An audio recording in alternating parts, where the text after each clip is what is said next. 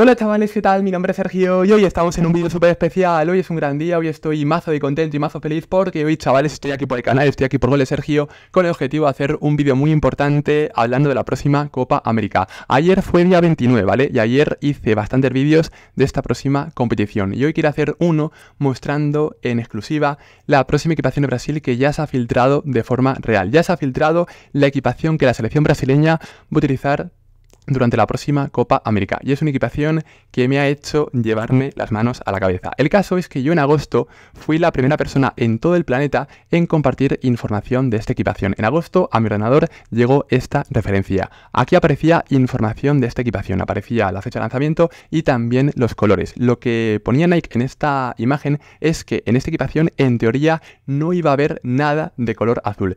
Se filtró esto y se filtró que el amarillo obviamente iba a ser el principal y que luego a aparte de haber este tono de color amarillo, íbamos a apreciar un amarillo más claro y también un color verde, pero no habría nada de color azul. Esto lo filtré yo en agosto y luego ya en octubre fue cuando Mantos de Football compartió esta imagen de esta próxima equipación. Esta imagen la compartió Mantos de Football y nos enseñaba esta camiseta que Brasil en teoría iba a utilizar en la próxima Copa América. Pero claro, una cosa es lo que se filtra y luego otra cosa es la que al final se acaba presentando. Y el caso es que ahora se ha filtrado una imagen real de esta equipación. Esta imagen, quieras o no, para nada era real, era conceptual y estaba hecha en base a info. Yo supongo que esta cuenta brasileña vio la imagen, vio la equipación con sus ojos y en base a lo que hayan visto hicieron este boceto. Pero claro, finalmente la equipación no será como esta. Es cierto que hay cosas que sí que se van a mantener, pero lo que sucede ahora es que en internet me he encontrado y me he topado con esta fotografía real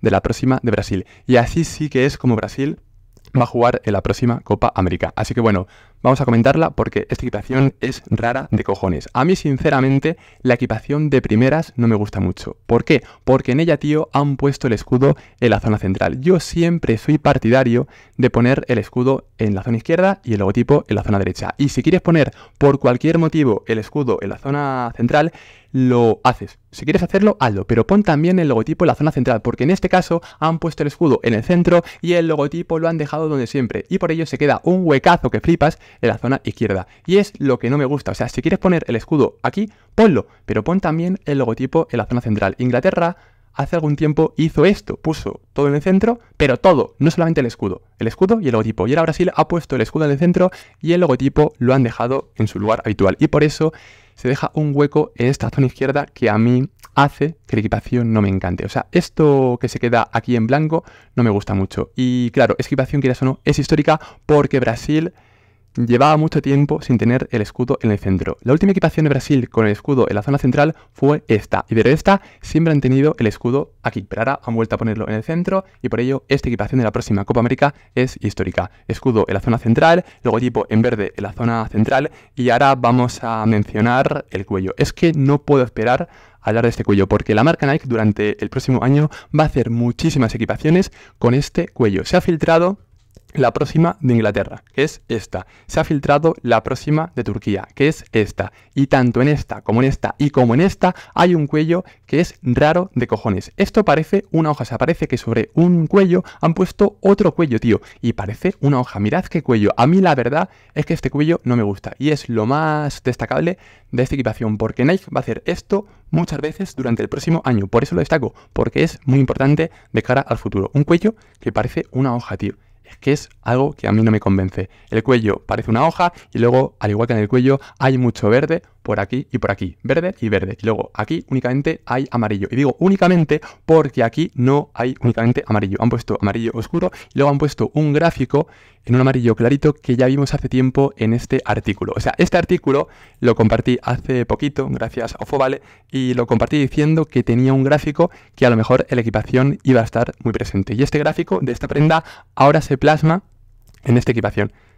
Es el mismo gráfico. Esto ahora está presente en esta equipación. Esto también lo destaco y también obviamente destaco que esto que filtró Ofobal ahora se supone tiene importancia en esta equipación. O sea, Matter Football compartió esta imagen y aquí las mangas estaban únicamente en verde. Pero claro, yo sabía que esa chaqueta iba a tener importancia en la próxima Home de Brasil o importancia en la próxima Agui de Brasil. Y ahora resulta que esta chaqueta tiene importancia en la primera equipación porque el gráfico de esta zona y también de esta zona, de esta manga y de esta, de la izquierda y de la derecha, lo han puesto en esta equipación. Mirad la equipación porque hay gráfico en amarillo clarito y luego hay un gráfico que tiene verde y azul. Finalmente, en la equipación habrá azul y habrá azul porque han visto oportuno poner lo que antes se veía en esta chaqueta. Y chavales, esto es todo lo que conozco de la próxima de Brasil. Ya se ha filtrado al completo y ya se ha filtrado ahora con esta imagen que es real y con esta imagen que me hace, la verdad, acojonarme. Porque estoy acojonado sobre todo por este cuello. O sea, el cuello